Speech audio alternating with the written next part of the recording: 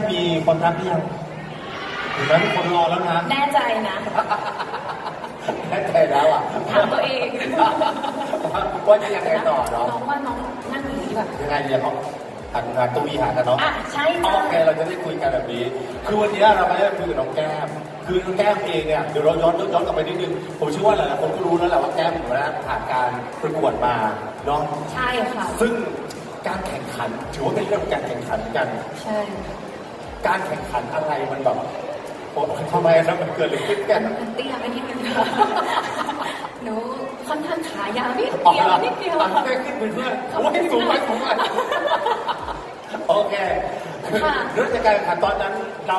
เราคิดยังไงเริ่มยังไงถึงแบบว่า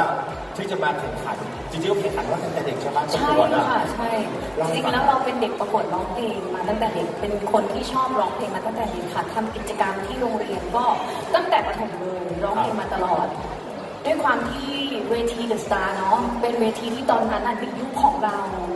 ดังมากยุคของเรายุคของเรานี่แหละยุคของเราจริงๆ คือผ่านมาหลากหลายปีแล้วนั่นเองนะคะ เป็นเวทีที่คนจะดูกันเยอะมาก เชียร์กันเยอะมาก แล้วเราอะ ดูตั้งแต่ปีหนึ่ง เพราะฉะนั้นมันเหมือนเป็นสิ่งที่เราเห็นมา แล้วทุกปลูกฝังในใจลึกๆว่าเนี่ยถ้าเราไปประกวดที่นี่ เราจะได้ประสบการณ์อะไรเยอะมากๆนะ ถ้าเรามีโอกาสในการที่ได้ไปร้องและได้รับฟังคอมเมนต์ต่างๆเนี้ยครับก็เลยตัดสินใจค่ะเขามาประกวดที่ภูเก็ตด้วยตอนนั้น The Star สี่ไปเลย ไม่ว่าจะผลยังไงไม่เป็นไร อยากไปอะอยาก อยากมีส่วนร่วม เราคิดแค่นั้นเลยใช่ไหมว่าแค่อยากไปอยากมีส่วนร่วมในวันใช่นั้นใช่เอ่ค่ะอคือผลไม่รู้แหละแต่ว่าแค่ขอไปสนุกก่อน ใช่อยากค่ะไปก่อนอ่าคือมันเป็นความฝันอย่างหนึ่งของเราที่เราอยากประกวดเวทีที่ระดับประเทศอะเนาะ ออแล้วเราก็ดูมาตั้งแต่ต้นอย่างนี้ด้วยค่ะ แล้วเราเห็นแบบหลาย ๆ คนที่พี่เดอะสตาร์หลาย ๆ ท่านที่เขาแบบมีความสามารถใช่ แล้วก็เขาร้องเพลงกันดีมาก ๆ ด้วย แล้วมัน มันเหมือนมันมันเป็นเวทีที่เปิดโอกาสในตอนนั้นนะนะคะ ก็เลยรู้สึกว่าเราน่าจะลองไปดูตอนนั้นพอไปถึงปุ๊บอัปปากบอกว่ามันเข้ารอบไปเรื่อยๆเรื่อยๆยังไงยังไง ตกใจ ฉันเป็นเด็กใต้คนหนึ่งที่เป็นเด็กกำลังจะจบม .6 ครับ ไม่ได้มีเรื่องความรู้ของความสวยความงามใดๆฉันแต่งตัวที่แม่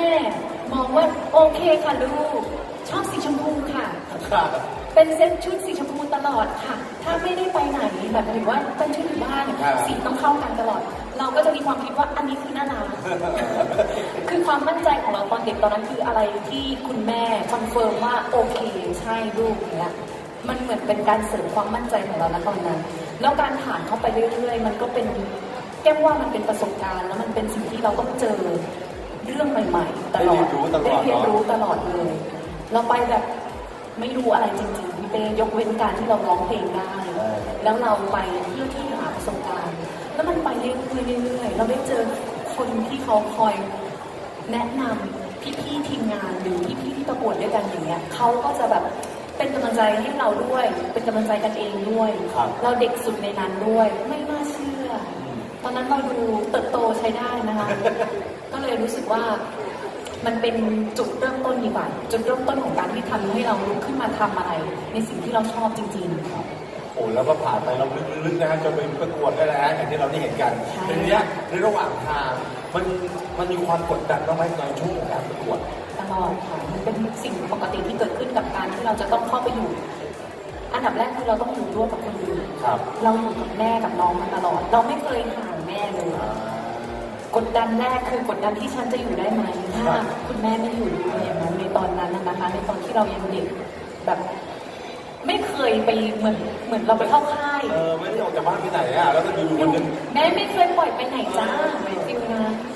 ก็เลยมันกดดันตัวเองตรงที่ว่าฉันต้องทำอะไรได้ด้วยตัวเองจริง ๆ ฉันจะไม่ได้ถามแม่แล้วว่าอันแม่นี้ดีไม่อันดีนี้ดีใช่ เหมือนเราต้องตัดสินใจเองคิดคิดอะไรด้วยตัวเราเองมากขึ้นเหมือนทำให้เราเติบโตมากขึ้นในวิธีของการคิดด้วยในการใช้ชีวิตด้วยอะค่ะ ก็เลยกดดันตรงนั้น แล้วก็มาต่อที่เรื่องของบทเพลงต่าง ๆ ในแต่ละวีคเราไม่ได้เตรียมเราไม่ได้เตรียมก่อนเลยว่าเราจะผ่านไหมเราทำแต่ละวีคให้ดีที่สุดอย่างเงี้ยค่ะพราะฉะนั้นมันก็ค่อยๆมีสร้างความกดดันมาในทุกๆวีคทุกๆวีใช่คถูกไหมค่ะแล้วเราแล้วผ่านกดดันเวลาต้องสัมภาษณ์เวลาเจอพี่เป้หรือเจอตอนนั้น เจอพี่มดดำเจอใครอย่างเงี้ยแล้วเราคือดูแต่ในทีวีเราเป็นบ้านดาราด้วยพี่หนุ่มเราก็เลยรู้สึกโอ๊ยเราจะตอบพี่เขาได้ไหมจะพูดยังไงดีด้วยโอ้มันมันถาโถมเข้ามาหมดเลยเนาะใช่ค่ะเพราะมันเป็นช่วงเวลาที่บอกว่ารวดเร็วมากเหมือนกันนะประกวดปุ้งปุ้งปุ้งปุ้งแล้วก็พบปะสื่อต่างๆเต็มไปหมดเลยใช่ค่ะเริ่มผ่านจุดนั้นมาได้ยังไงขั้นขั้นตอนนั้นก่อนเราเรียนรู้เราเรียนรู้เราฟังก่อนเวลาที่พี่เขาสอนเราผู้ใหญ่หลายๆคนตอนนั้นที่สอนว่าการ อยู่ร่วมกันกับคนอื่นหรือสิ่งสำคัญในการที่จะผ่านในแต่ละจุดไปได้อะคือเรารับฟัง พอเราฟังแล้วเรามันปรับมาใช้กับตัวเราเองแล้วก็สิ่งอีกอย่างหนึงคือที่เราสมัครตัวแก้เองนะคะอันนี้คือโดยส่วนตัวแล้วเราเป็นคนที่ชอบฝึกฝนอ่าชอบฝึกฝนดีครับเราจะร้องจนกว่า จะบอกว่าไม่มีเสียงก็ไม่ได้ เพราะเราต้องไปต้องแข่ใช้งเสียงใช่ไหมคะแต่เราจะร้องจนกว่าเรามั่นใจว่าโอเคโน้ตนี้ เรารู้สึกกับมันแล้วเราจะทำการบ้านของเราจนกว่าจะเราพอใจใช่ค่ะคำว่าโน้ตนี้จนเรารู้สึกรู้สึกกับมันมันคืออะไรอะคือบางโน้ตมันจะมีบางเพลงนะคะเพลงที่เราร้องเวลาเราร้องเพลงบางช่วงของเพลงเขาเรียกว่าเป็น dynamic เป็นกราฟของเพลงใช่ไหมคะช่วงต้นเราจะไม่ได้มีการ improvise อะไรเยอะมากแต่โน้ตที่มันจะต้องเป็นโน้ตเขาเรียกโน้ตเด่นละกันโน้ตเด่นโน้ตคน อะไรอย่างเงี้ยค่ะเพราะพี่พีคหลายพีคใช่ อ่าช่วยพี่พีคก็คือซ้อมจนกว่าเสียงมันจะนิ่งและจำเสียงตัวเองตรงนั้นได้ถ้าจะมองว่าอันนี้คือความยากในการร้องเพลงในจุดนี้หรือเปล่า ก็มีส่วนค่ะ มีส่วนด้วยเพราะว่าในแต่ละสายของนักร้องมีหลากหลายมาก แต่ตอนนั้นที่เราประกวดเราประกวดสายที่ใช้พลังเสียงใช้วิธีการร้องเพลงแล้วก็ใช้อิน อินเนอร์ในการร้องเพราะเพลงเราจะเป็นสายสไตล์นั้นถ้าเพื่อนที่เป็นสายเต้นก็ต้องเต้นซ้อมเต้น บวกกับร้องให้แบบแรงในมีอะไรอย่างนี้มันเลยแต่ละคนก็จะมีสไตล์ไม่เหมือนกันวิธีซ้อมก็จะต่างกันไปของเราจะเป็นแบบนี้ของเราจะเป็นการ มีโน้ตที่คนจะแบบว่าโน้ตนี้อะไรอย่างนี้โอ้ยเสียงอ้าวก็ไม่ได้อะไรอย่างเงี้ยมันจะมีตัวนี้แน่เหรอใช่ใช่ค่ะคือสายแบบสายดีว่ากับสายชมพลังเราก็ต้องแบบว่าและตอนนั้นแบบว่าทำยังไงให้คนรู้สึกอินไปกับเราตอนเราร้องแล้วมันมันยากไหมกว่าที่เราจะไปถึงจุดนั้นได้หรือว่าคุณมาด้วยแบบว่าพรสวรรค์ล้วนไม่จริงไม่จริงเลยเหรอแกว่าสิ่งที่เราได้มาจาก อะเขาเรียกว่าพรสวรรค์ใช่ไหมคะอย่างเดียวมันไม่สามารถที่จะทำให้มันดำเนินต่อไปได้ มันต้องมีพรสวรรค์มันต้องมีการฝึกฝนทุกคนค่ะบางคนไม่ได้อาจจะไม่ได้ถนัดร้องมาตั้งแต่ต้นแต่ว่าถ้าเขาฝึกฝึกฝึกฝึกเขาก็เป็นนักร้องได้เขาก็จะทำได้ถ้าเรามีความเชื่อมั่นครับว่าเราชอบว่าเรารักในการสิ่งที่เรากำลังทำเพ ราะฉะนั้นก็คือเรื่องของการฝึกฝนเนาะสำหรับแก้มนี่คือต้องฝึกฝึกหนักมั้ยหนักหนักมากน้อยแต่ถ้ากับเทียบกับคนอื่นๆสำหรับแก้มไม่ได้เทียบใครเลยทุกคนแยกกลุ่มซ้อมกันตลอดเวลาจ้าตัวใครตัวมันก่อนตอนนั้นสุดๆทุกคนคือพอได้ได้รับจดเพลงมาเราก็จะทำการบ้านในแต่ละเพลงใช่ไหมคะครับซ้อมกับครูเสร็จซ้อมไปซ้อมกับครู acting หรือนู่นนี่นั่นแล้วเวลาเหลือก็ไปซ้อมเองก็แล้วแต่เลยใครอยากอยู่มุมไหนใครจะซ้อมมุมไหนเราก็ร้องจนพี่เขาบอกว่า เยี่ยมนิดนึงบางทีอะไรอย่างเงี้ยแสดงว่าซ้อมหนักมากจนจนต้องบอกนิดนึงใช่ใช่ค่ะเราก็อยากทำเต็มที่ที่สุดครับช่วงช่วงเวลาของแก้มเองเนี่ยแบบว่ามีช่วงแบบที่ผ่านจุดแบบโอ้ไม่ไหวแล้วเหนื่อยแล้วไม่อยากเลยมีบ้างไหมครับคือเอาถ้าพูดกันตรงๆพูดเรื่องจริงแก้มว่าไม่ใช่แค่แม่หรอกที่มันจะมีช่วง เหมือนไฟมันมอดลงเหมือนมันมีบางอย่างที่ทำให้เรารู้สึก ใช่ไหม เราจะไปต่อไหมเนี่ยมันมีค่ะหรือบางครั้งเราไม่ได้พักเลยเนี่ยร่างกายเขาต้องการพักผ่อนเขาจะเหมือนบางครั้งเขาปิดสวิตช์ตัวเองไปเลยอย่างเงี้ยค่ะอยู่ๆก็นั่งเฉยๆมันมีค่ะแค่ว่าทุกคนเวลาทำอะไรเต็มที่แล้วทำตลอดตลอดตลอดเหนื่อยมากๆไม่ได้พักอะ ต้องมีความรู้สึกแบบนี้แน่นอน มันก็คือการที่เราจะต้องดูแลกลับมาดูแลตัวเองแล้วว่าเราไหวแค่ไหน ว่าเราโอเคกับตรงไหน ปรับการ balance แต่มีเป้ก็ว่าทุกคนมีนี่เนาะมาถึงจุดนั้นเราเราใช้วิธียังไงที่เราจะปรับให้ตัวเองกลับมาแบบอะมา fresh ต่อได้แบบว่าสู้ต่อได้ ไม่แต่ถ้าทำงานอะเราจะเราจะโฟกัสงาน เพราะฉะนั้นเราจะพุ่งไปเต็มที่เพื่องานไปก่อน แต่พอกลับบ้านอะเราก็จะมานั่ง อยู่กับตัวเอง แต่ถ้าบางจุดไม่ไหวจริง ส่วนใหญ่เราจะคุยกับแม่ คุยกับพี่ผู้จัดการว่าอันนี้เราทำยังไงดีนะอะไรอย่างเงี้ยค่ะช่วยกันคือเราจะไม่ได้ว่าเราไม่สามารถผ่านทุกเรื่องได้ด้วยตัวเราคนเดียวในบางครั้งแต่สิ่งที่เราต้องผ่านไปให้ได้ในแต่ละครั้งมันต้องเริ่มจากเราแค่นั้นเองมีประสบการณ์อะไรที่แบบว่าตั้งแต่แบบมามเป็นแบบว่า ไทยเนี่ยที่เราภาคภูมิใจมากๆแบบเป็นประสบการณ์ที่แบบโอ้โหไม่รู้ลืมอะไรอย่างเงี้ยมีบ้างไหมทุกทุกประสบการณ์อะแล้วเวลาเราหนูเหมือนเจอพี่เป้ครั้งแรกหนูก็รู้สึกประทับใจดีใจแล้วเพราะว่าเป็นดีเจที่เราฟังมาจริงๆนะนี่ก็คือสิ่งหนึ่งที่เราประทับใจหรือการไปร้องเพลงต่างๆ แล้วแบบมีคนมาให้กำลังใจอย่างเงี้ยนั่นก็คือสิ่งสิ่งที่ประทับใจฉันมีแฟนคลับอย่างเงี้ยที่ออกมาแค่ส่ วนงานถ้าเป็นในพาร์ทของการทำงาน ไม่ว่าจะเป็นการร้องเพลงหรืองานสำคัญสำคัญต่างๆ มันก็น่าภูมิใจหมดเลยครับแต่สิ่งที่เราว่ามันไม่คาดคิดดีกว่าอ่าที่มีคาดคิดแล้วเกิดขึ้นไม่คาดคิด แล้วมันเกิดขึ้นในชีวิตเรา คือการได้ไปออสการ์ตอนนั้นนั่นไงเป็นไงบ้างได้เล่าเล่าให้ฟังหน่อยตรงนั้นคือเราอะตื่นเต้นครับมันมันเลยเก็บทุกอย่างไว้ข้างในแล้วเราคิดแค่ว่า ฉันจะทำหน้าที่ของฉันให้ดีที่สุดบนเวทีฉันร้องเพื่อคนไทยตอนนั้นมันเป็นอย่างนั้นเอาแบบนี้เลยนะ ตัวแทนตอนนั้นคือภาษาไทยอ่าที่ทำก็คือภาษาไทยค่ะเออจริงๆ คือเป็นเกียรติของชีวิตมากๆ เขาสามารถเลือกประเทศอื่นไม่ได้ แต่เขาเห็นว่าภาษาของเราประเทศของเรา สามารถที่จะไปร้องร่วมกับพี่ๆน้องๆประเทศอื่นได้ในตอนนั้น มันเป็นเกียรติของชีวิตของเราเอามาดูความภาคภูมิใจของพวกเราด้วยใช่ไหมพวกเราปรบมือสิครับโอ้โหจริงมันภูมิใจมากๆนะวันนั้นแล้วโอ้โหเราเห็นแล้วแบบแต่จริงก็ส่งมาเนี่ยเออคนลุกมากๆแล้วแบบว่ามันดีมากปังมากเลยไงเนาะนะฮะเราชื่นใจแล้วภูมิใจมากๆในตอนนั้นนะครับซึ่งเนี่ยความความตั้งใจเราฟังมาตรงนี้แล้วเป็นความตั้งใจการฝึกฝน นะฮะการซ้อมการดักนะฮะเพื่อที่จะขึ้นมาเป็นตัวจริงได้ แต่มันก็มีวิกฤตการณ์ที่เกิดขึ้น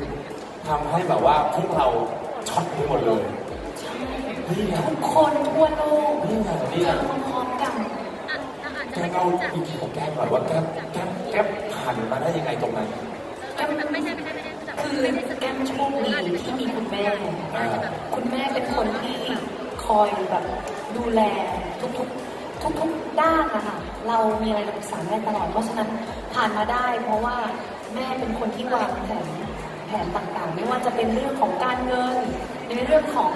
การแม่พยาบาลครับความปลอดภัยต่างๆอยู่บ้านค่ะ อยู่บ้านค่ะจะไปไหนค่ะถ้าเราเริ่มแบบแม่เริ่มพูดเริ่มแบบเครียดแล้วแม่ก็จะบอกลูกทุกคนก็อยู่เหมือนเราค่ะ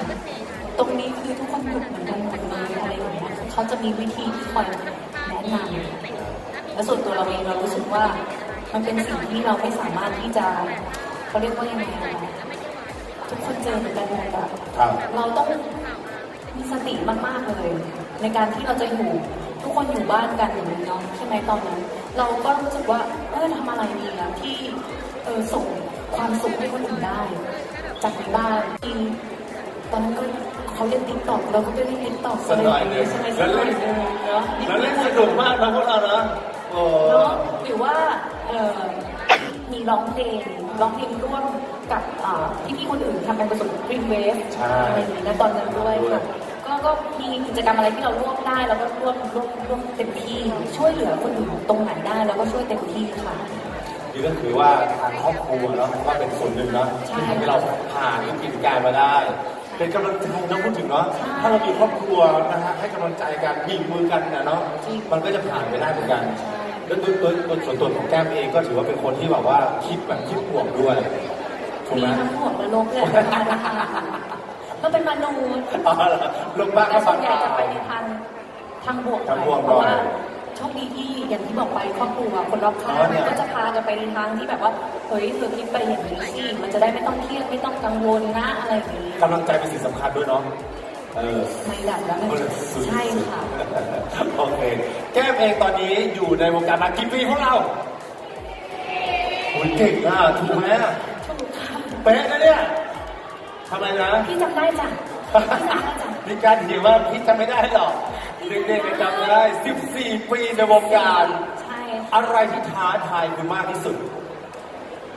ก็ทุกอย่างนะคะสำคัญคือการเจอผู้คนเอากันเลยกันเจอคนการเจอว่าเป็นการท้าทายเหรอ คือมันต้องเราไม่รู้ไงในว่าเขางามานแต่ละยังไงงานอย่างนี้อ๋อเราหมายถึงผู้คนในงานแต่ละงานเวลาเราไปร้องเพลงเราต้อง entertain เราต้องรู้ว่า react ของแต่ละงานเป็นยังไงเออการที่เราจะ entertain ต่างๆ จะทำยังไงแค่ว่าเพราะว่าเราเจอกลุ่มคนใหม่ ๆ อยู่เสมอเวลาเราไปทำงานอย่างพี่เป้เราต้องอยู่อย่างวันนี้อะค่ะอย่างเงี้ยเราก็เลยตื่นเต้นมากเพราะว่าปกติเราจะร้องเพลงเยอะใช่ไหมคะครับ วันนี้เรามีโอกาสนะคะที่ทางแพรวได้แบบ ทอล์กอย่างเดียวเลยครับวันนี้นี่คือแพรวทอล์กชอบมากหลายๆคนอาจจะไม่รู้ชอบพูดคนชเดีอยวบอยู่คุยบ้าชอบงคุย ใช่ค่ะพูดกับแมวบ้างพูดกับต้นไม้บ้าง มีความสุขสุขเอาไว้แต่ละเนี่ยร้ายนะพวกเราเนี่ยเหลอเหลอเหลอพูดชอบพูดค่ะครับแสดงว่าเราเรา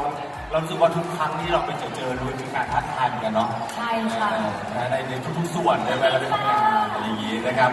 ทีเนี้ยเราก็คงจะเห็นตรงกันอยู่อย่างหนึงก็คืออย่างแก้มเองอะก็เป็นคนหนึ่งที่เราเห็นมาตั้งแต่ตอนประกวดจนมาถึงทุกวันนี้ค่ะเรียกว่า เป็นสายพัฒนาตัวเองอย่างไม่หยุดยั้งขอบคุณค่ะไม่หยุดหย่อนด้วยยังไงยังไงเราเราเราเรามีความคิดอะไรยังไงยังไงทำให้เราแบบว่า ไม่หยุดที่พัฒนา เพราะว่าเราจะได้บอกคนดูด้วยเหมือนกันคือ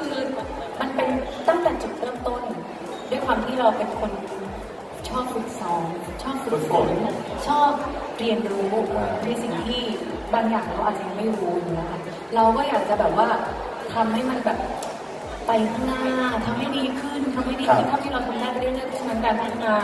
มันยังมันจึงเป็นประเด็นสำคัญของเรา การพัฒนาตัวเองไม่ว่าจะเป็นด้านไหนก็ตาม ถ้าเราทำได้แล้วไม่ไม่ทำให้เรารู้สึก